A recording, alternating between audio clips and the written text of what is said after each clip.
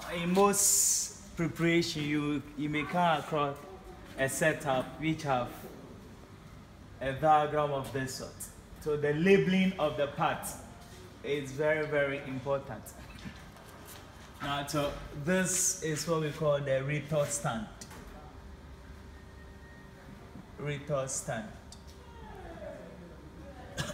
what is attached to the retort stand? We call it the clamp. Clamp. And then we have this one. We call it the tripod stand.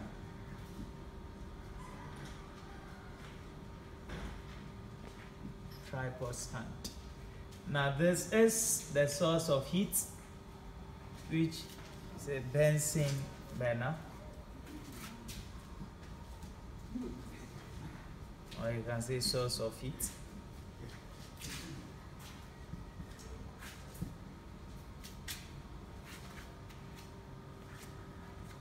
Now we call this the Thistle funnel. Thistle funnel.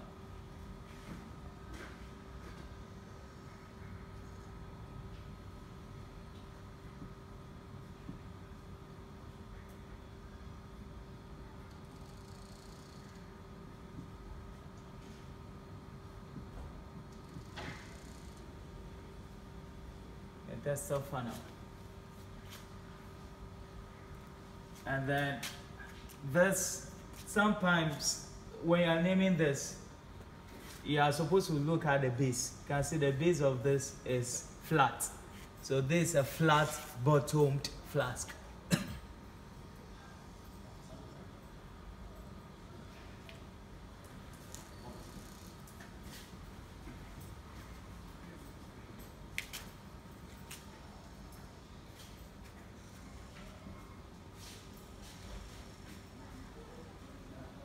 flat bottom flask. Now if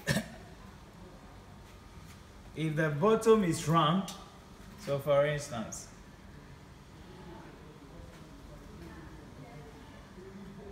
then this one is round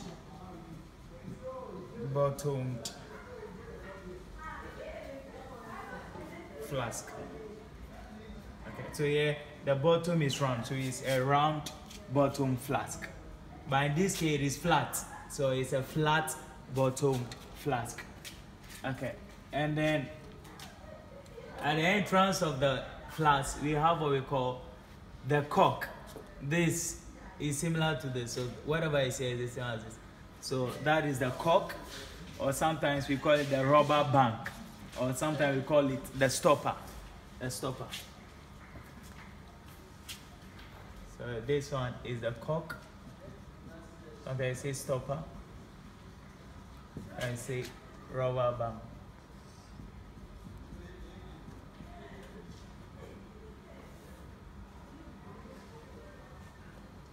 So if you are supposed to label this, that's still the cork. Now this one is what we call the delivery tube. So this is the delivery tube.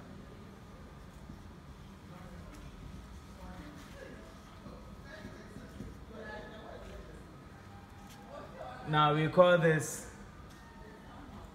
the gas cylinder. Gas cylinder, or you can say gas jar. Gas jar. So instead of saying gas cylinder, you can also call it the gas jar. Now the entrance or the mouth of the cylinder, we have the cardboard.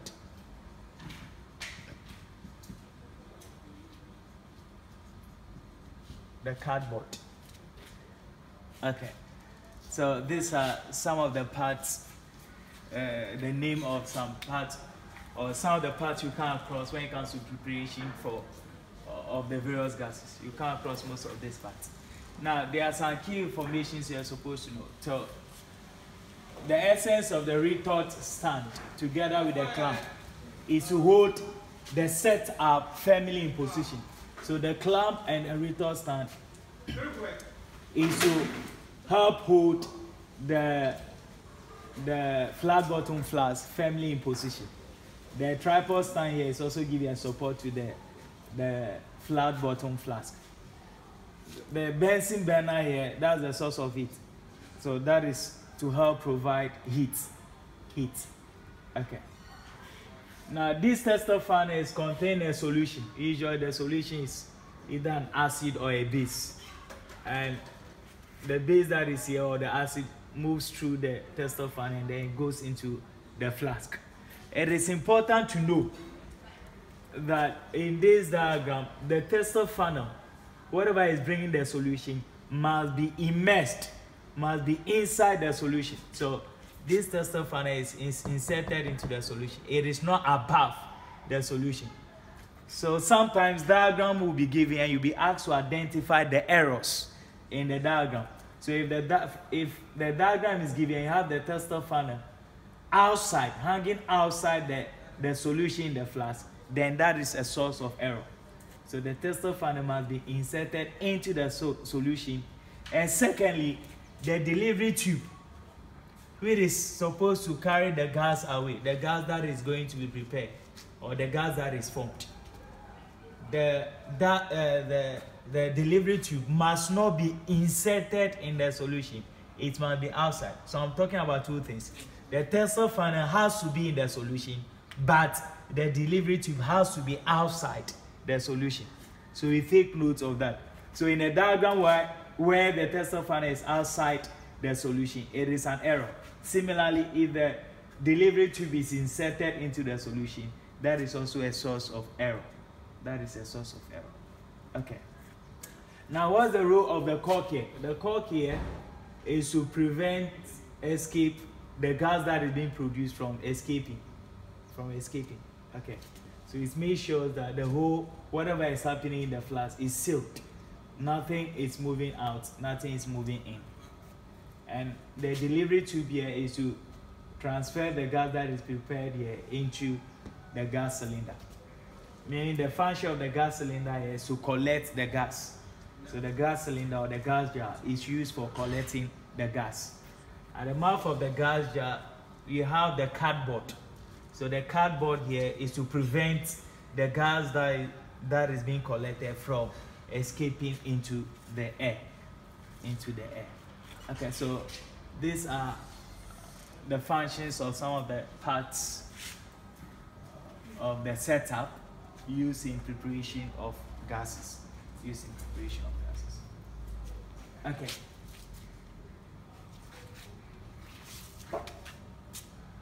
You can also have a setup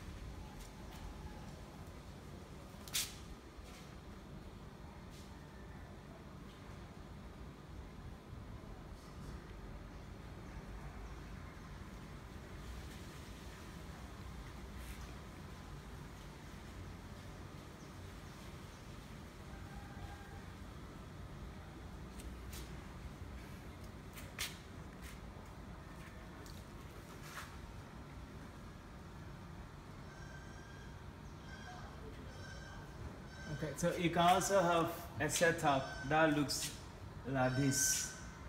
So you have still your retort stand, your clamp, flat bottom flask, tripod stand.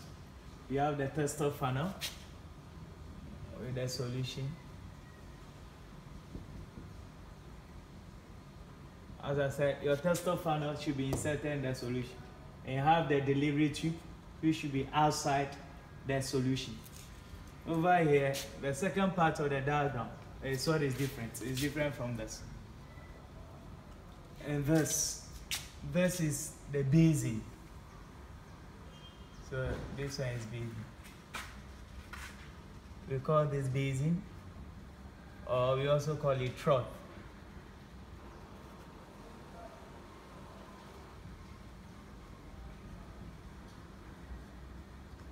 So trough. What is inside here is water. So sometimes we call it water basin or water trough. And then this, we call it the beehive stand. So beehive stand. So we come out, we've come across about three stands. We have the retort stand this the tripod stand what is here? Retort stand tripod stand and this one is what we call the beehive stand. Uh, this one is the gas jar. My this you can see that the gas jar has been turned upside down. So we call it inverted gas jar. Inverted gas jar or gas cylinder so this one, you don't just label it as gas jar or gas cylinder. It has been turned upside down, so it's, you meant you label it as inverted gas jar. And whatever is, so you have water, whatever is here is the gas that is being collected. So for instance, if you are preparing hydrogen gas, then this gas, whatever is collected there, is the hydrogen gas. Is the hydrogen gas. Now please take note of this. Over here to the, bee, uh, the delivery tube has to be inserted into the beehive stand. So just like your thistle funnel has to be inserted in the solution, the delivery tube has to be inserted into the beehive stand. So if it is outside, then that is also a source of what? Error. That's also a source of error. So you are supposed to take note of that. So the delivery tube has to be inserted into uh, the beehive stand. Beehive stand. Okay, so these are uh, some form of diagrams you'll be coming across uh, when we start looking at questions and how to label the parts. So take note of it. Now, in preparation of gases, we have what we call method of collection. Method of collection of gas.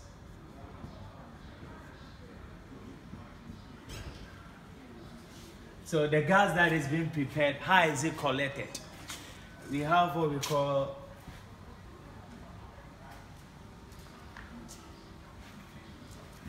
the upward and downward delivery.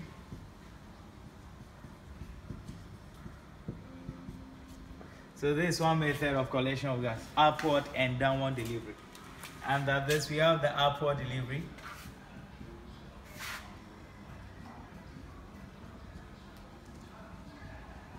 Which we also call downward displacement of air.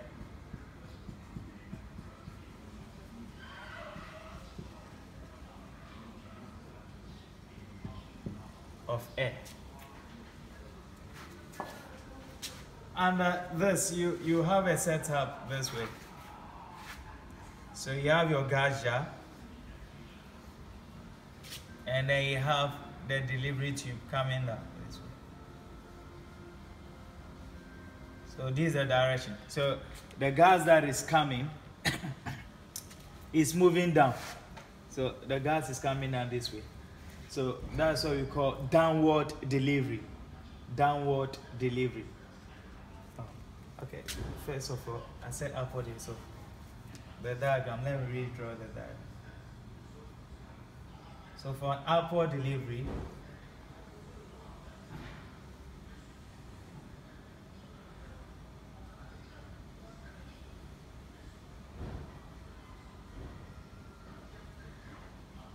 you have the delivery tube pointing upwards this way.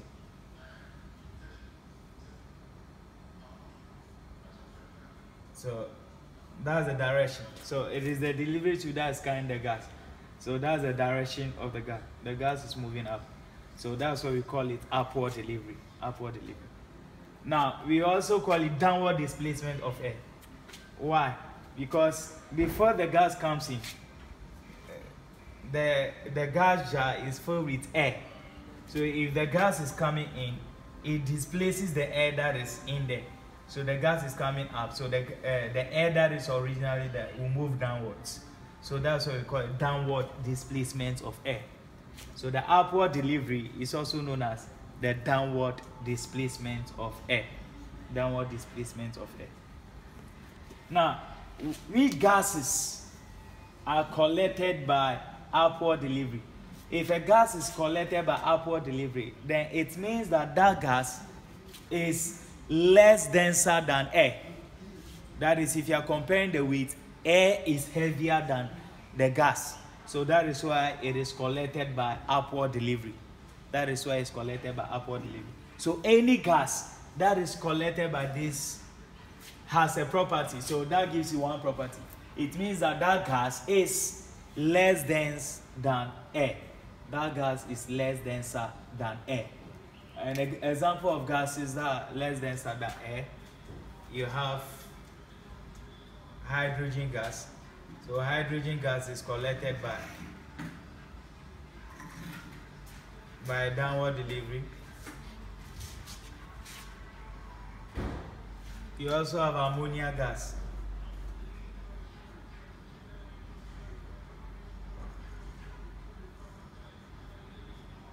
Which is also collected by upward delivery. So these gases are collected by upward delivery. What it means is that these two gases are less denser than air. So they are less denser than air.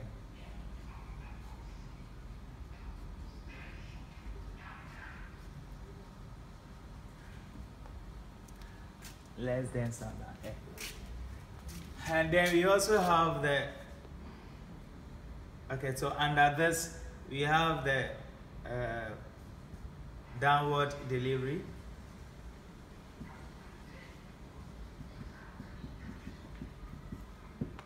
which we also call the upward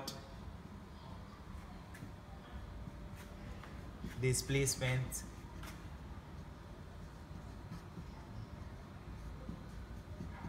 of air upward displacement of air. So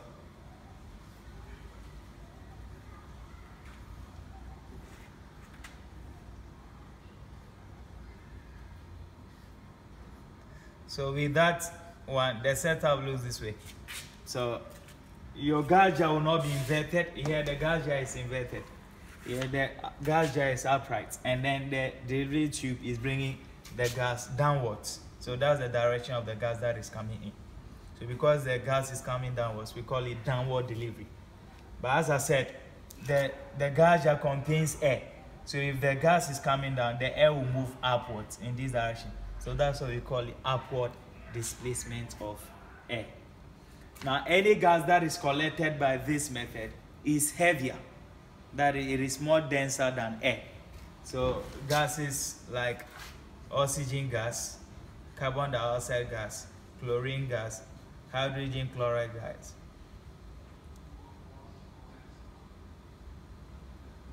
Nitrogen gas, the remaining gases, all these gases, they are collected by downward delivery because they are more denser than air. More denser than air. Okay, so that is the first method of collection of gases. We also have, so the second method of collection of gas we refer to as collection above water. So that's the second method of collection of gases. Collection above water. So you have collection.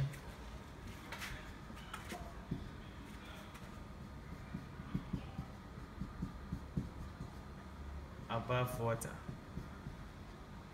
So this is the first method, upward or downward delivery. And then the other method we refer to as collection above water. Collection above water. Now, if if you consider this setup, probably this is a gas jar. So you think that because the gas jar has been inverted this way, so you, you may be tempted to say that the gas is collected by an upward delivery, but that is wrong. Anytime a diagram is given and then you have this as part of the diagram, the beehive stand inside uh, a basin or trough containing water, and then the the gas jar is placed on the beehive stand. Then the method of collection is collection above water. So if you are asked what is the method of collection here, it is collection above water. If you look at this diagram, yeah, this part of the setup is not there. There is no basin containing water. So yeah, the gas here is coming directly this way. So for this diagram, the method of collection is downward delivery, downward delivery, or you can say uh, upward displacement of air. So please take note. So that is method of collection, either by upward or downward delivery or collection above water. Now, if a gas is collected above water, it means that that gas is insoluble. That gas is insoluble in water. Insoluble in water. That's one.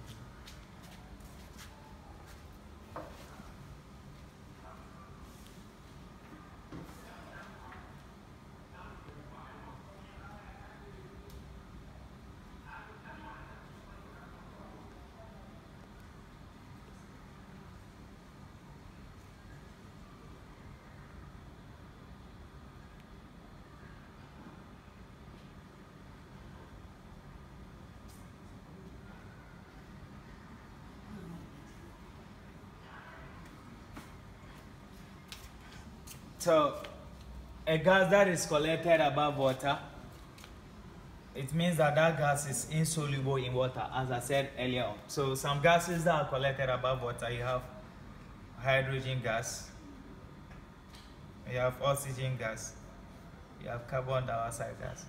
So, any gas that is collected by this method, it means that the gas is insoluble in water.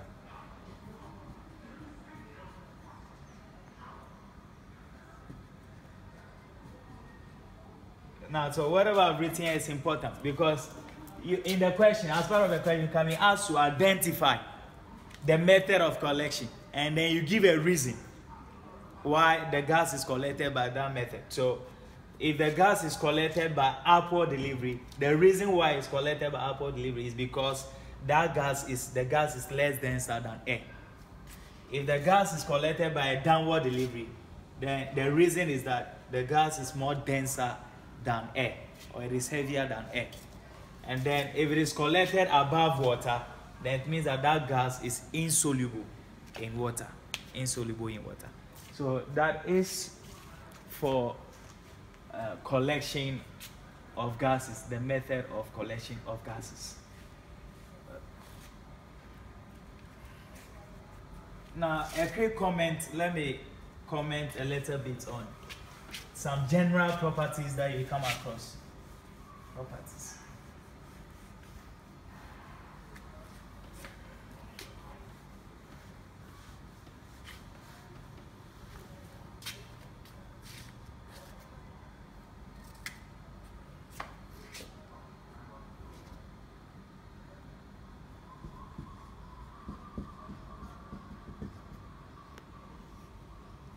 Yeah, when I talk of properties, of the common properties you come across is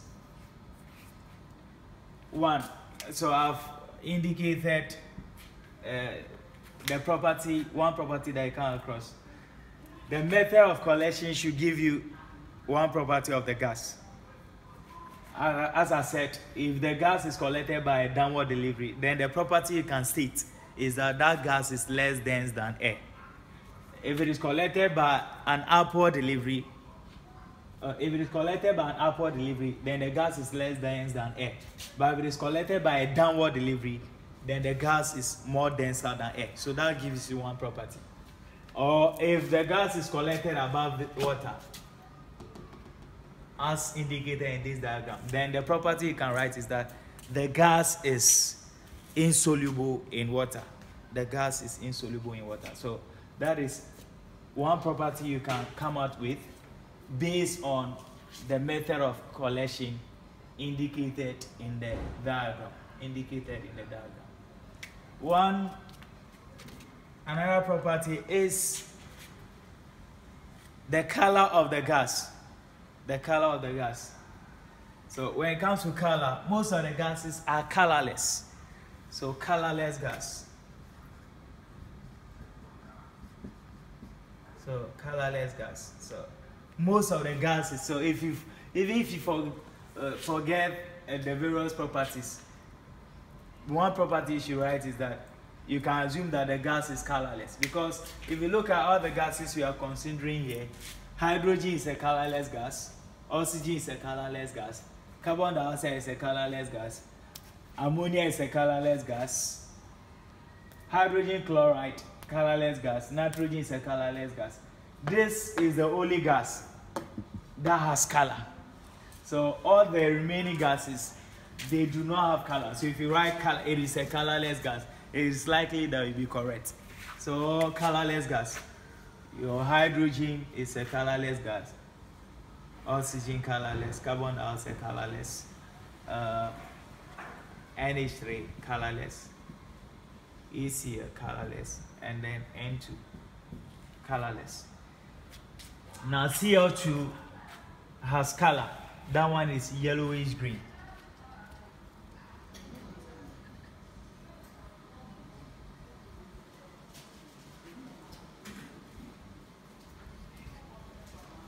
So let me write this as note. So chlorine gas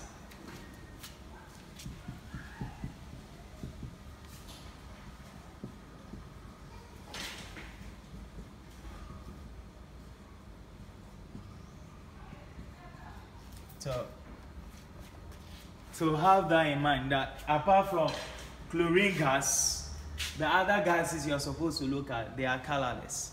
They are colorless. The other property you, you also talk about is odor. Odor, the scent or smell of the gas. The scent or smell of the gas. Uh, so for odor, we have some of the gases that are odorless. Odorless gas means that the gas has no smell. It has no scent. So examples of odorless gases, we have hydrogen is an odorless gas, oxygen is odorless, carbon dioxide is odorless.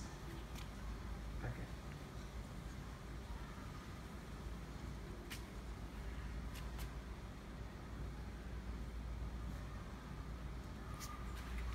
Now, your ammonia gas, chlorine gas, and the hydrogen chloride gas, they have a smell. We, have, we call it pungent smell.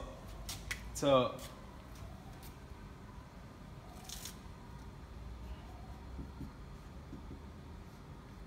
so NH3, CO2, easier have pungent instead of pungent you also you can also use the word irritating. Irritating or you can also say choking. Choking smell. So these gases they have odor. When you, they are released you it has a choking smell when you breathe then you begin to choke up. So that's why you say choking smell. Or sometimes we say pungent or irritating. Specifically, if you are talking about ammonia, ammonia has urine-like smell. So take note that ammonia NH3 has a urine-like urine-like smell. Okay, so that is to uh, to specifically describe the choking smell of NH3. It has a urine-like smell. The way urine smells, that's how the ammonia gas smells. Okay, but in general, it has a choking smell. You can see it has a pungent smell. Okay, so that is in terms of color. That is in terms of odor. The first thing I've talked about is the density, as whether it is less dense than air or it is less, it is more dense than air. Okay, so those are some uh, general characteristics you are supposed to take note of. Take note of. The last thing I'm going to talk about uh, properties is you can be asked to state give examples of acidic gases and then basic gases. So acidic gases and then basic gases. That's also a property. Okay, so if the gas dissolves in water to form an acid, then we describe it as an acidic gas. If it dissolves in water to form a base, then we call it a basic gas. Now, so some examples of acidic gases.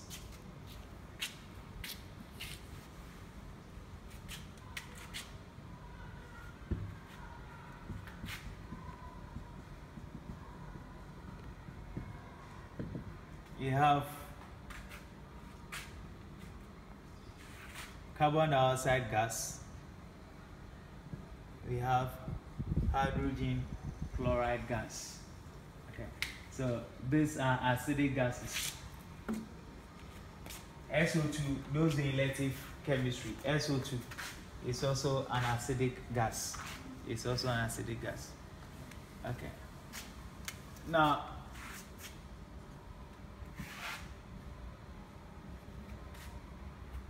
and then for basic gas,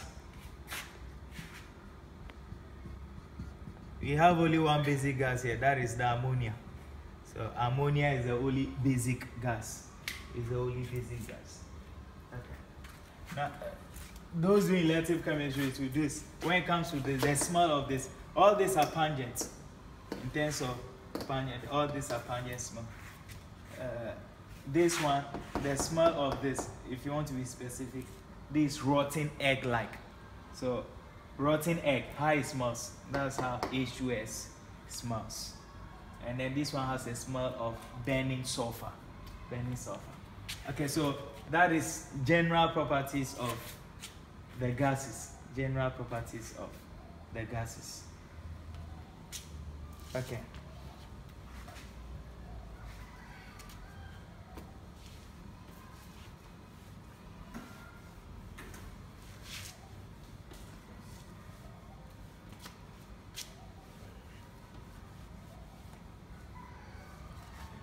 Now, in terms of test, you have all as all these informations I'm talking about. They are captured in the in the PDF that I've forwarded to the WhatsApp page, so you can refer to them, and then you get access to all this information that I'm talking about. Now, in terms of test, general test for hydrogen, to test for hydrogen, we use what we call a glowing splint. So you make use of glowing splint. An example of glowing splint is what we call the lighter. Uh, what is used to light, for instance, a cigarette. That is a glowing splint. So if it is hydrogen gas, if you have a hydrogen gas in a test tube, and then the flames of a glowing splint is introduced into the, the test tube contain the hydrogen gas, you see that the, the flames will glow more. That means it begins to burn more. If that happens, then it, no, okay, you're talking of hydrogen gas. No, if you introduce the, the glowing splint, the flames of a glowing splint into a test tube contain hydrogen gas, you rather hear a pop sound. So pop sound.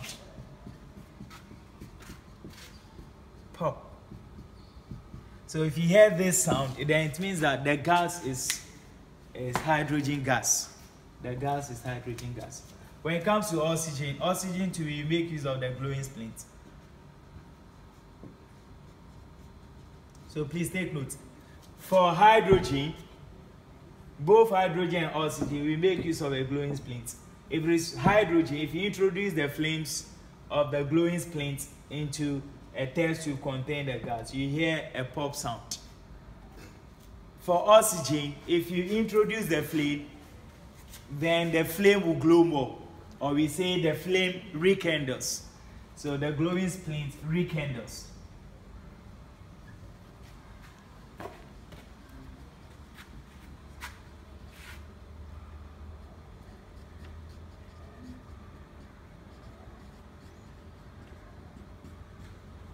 So for here, this is the observation. So observation for hydrogen. This is what you see, observation. The oxygen, this is the observation that you see. Observation. You see this. Okay. So both make use of glowing splints, but for hydrogen, you hear a pop sound. For oxygen, the splint to rekindle. That is, it will glow more. It will glow more. Now, when it comes to carbon dioxide, we make use of lime water. Lime water is actually a solution of calcium hydroxide.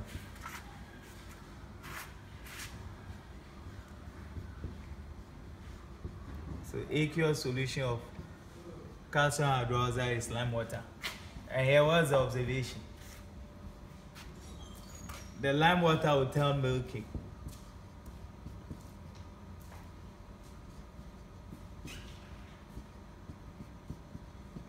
So yeah, if you introduce the gas into a test tube containing lime water, what you observe is that the lime water will turn milky. It becomes cloudy. Becomes cloudy. It's more like when you pour uh, milk into water, how you see it, the cloudiness, that's how it will look like. So that's how you test for uh, carbon dioxide in the laboratory. Okay. For ammonia, if you want to test for ammonia, you make use of HCl, aqueous HCl. Or you can say chlorine gas, you make use of chlorine gas, hydrogen chloride gas, rather, not chlorine gas. You make use of HCl gas. What's the observation? So in this, what do you do? The HCl gas will be in a test tube and then you pass or you bubble the, the ammonia gas through it. And the observation that is that you form Y fumes.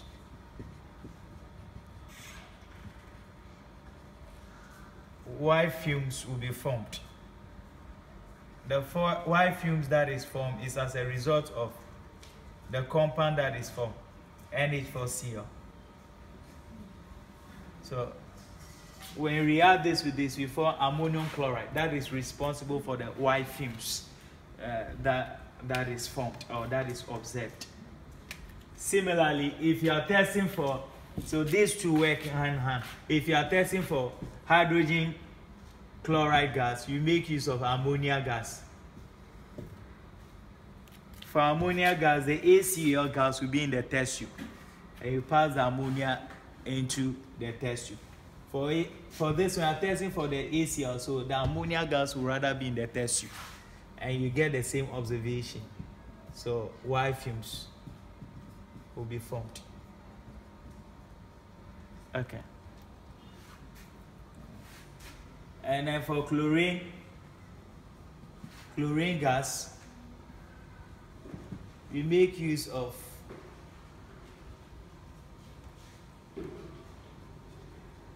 moist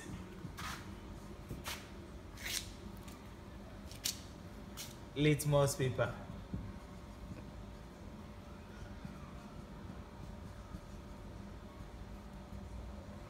Moist litmus paper. What's the observation?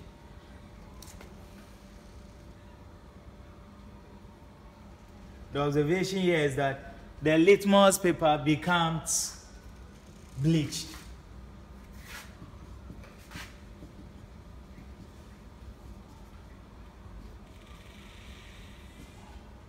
Becomes bleached. So the litmus paper becomes bleached. Okay, so so that is one property of or one use of chlorine gas. It is a bleaching agent. So when you go to the clothing industry, manufacturing of tie and dye, those guys have chlorine use. So that is when you put the litmus paper inside, uh, the litmus paper become bleached. Okay, so these are some of the general tests of the various gases. The various gases.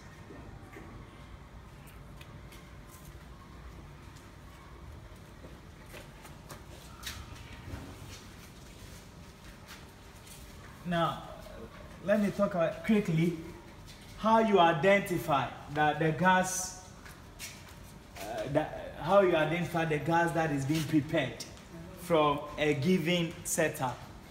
How you identify that the gas being prepared, the gas that is prepared from a given setup. How do you do that? Okay. So identification of gas which falls under preparation. So for preparation, quickly, for hydrogen gas, we have a metal reacting with an acid. Then the gas that we produce will be hydrogen gas. So for instance, you have zinc reacting with HCl, then have zinc chloride plus hydrogen gas. So this is a gas that will be produced. So that is how hydrogen gas is prepared in the lab. So in the setup, the zinc granules will be here. And then you have the acid, that's the HCl, in the thistle funnel.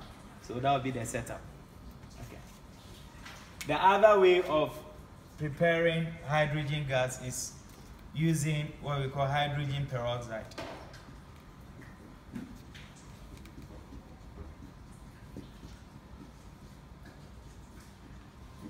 H2O2. Okay. So hydrogen can also be prepared in the lab using hydrogen peroxide. Hydrogen peroxide.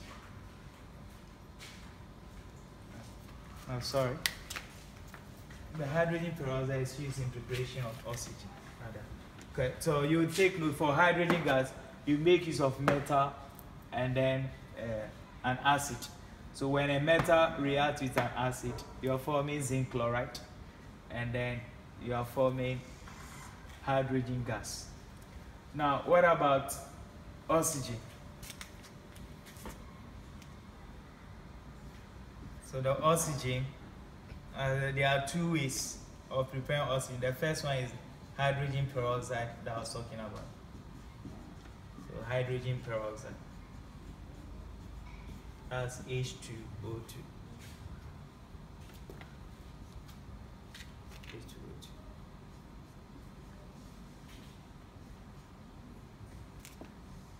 And this reaction, you have the MnO2.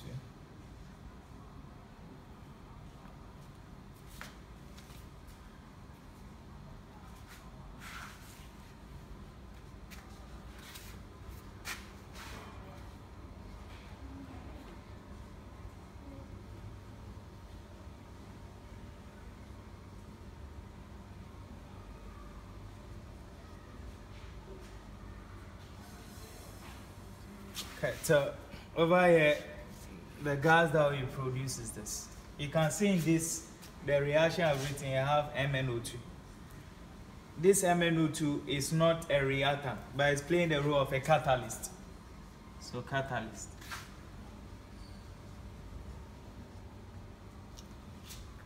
Catalyst, that is, it is helping to speed up the rate of the reaction, the rate of the reaction.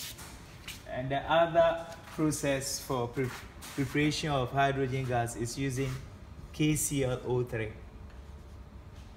This one you heat it, you apply heat, heat, and I have MnO2 also as a catalyst. And I have KCl plus oxygen gas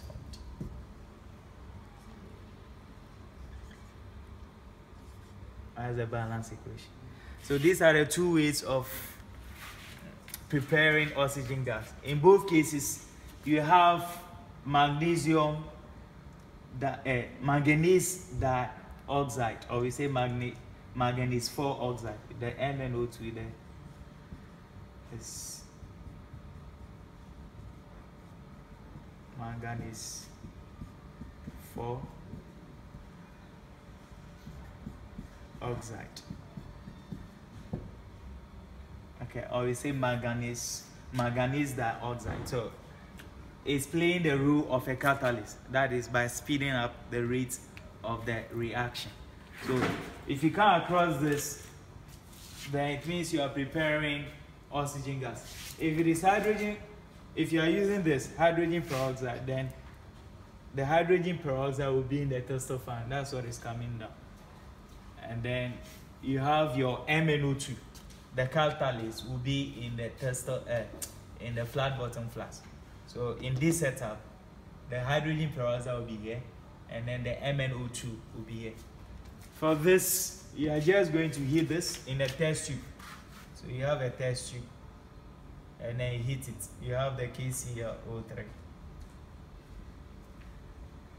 The KClO3 in the test tube, and you have you apply it. So you have the KClO3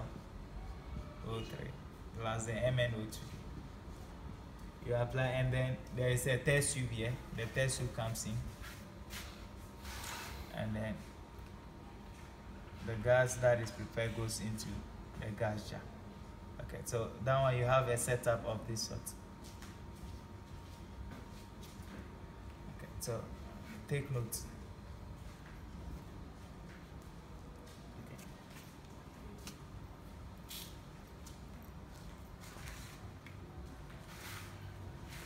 Okay. Now, so that is for hydrogen gas and then oxygen gas. Now, what about um, carbon dioxide? For carbon dioxide gas, you have a carbonate reacting with an acid. So, for instance, you have calcium carbonate reacting with an acid. So calcium carbonate reacting with HCl, and acid. You form calcium chloride plus water and then CO2. So this is the gas that we produce. So whenever you have a carbonate, any compound that contains CO3, you see it reacting with an acid, you form carbon dioxide. If I also write this, for instance, uh, NaHCO3, this also a carbonate because it contains CO3. You react this with an HCl, AC, uh, which is an acid. You form NaCl plus water plus CO2. Okay. So when a carbonate reacts with an acid, you form carbon dioxide. Then for ammonia, when you have ammonium salt,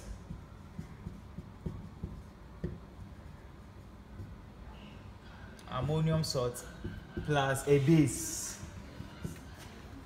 So for instance, I have NH4Cl combining with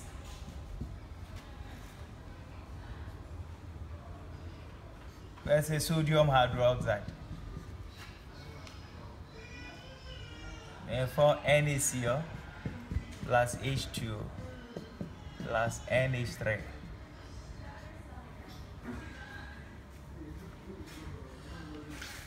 Okay, so yeah, you are forming the ammonia gas.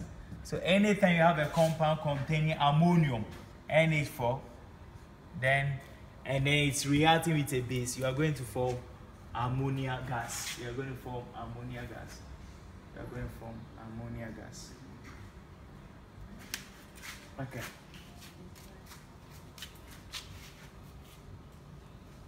Now, how do you form HCl gas? Let me bring it. In forming HCl gas,